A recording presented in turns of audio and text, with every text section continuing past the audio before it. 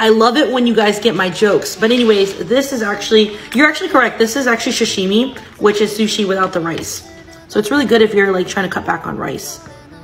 If you're new to sushi, my favorite cut of anything is salmon. Mmm. So buttery, so fresh. And if you know what's up, fatty tuna. This one has gold flakes though, so it's it's kind of expensive. Cheers. Ikura fish roll, also my favorite. Mmm. Should I eat it? Joke's on you. Octopus.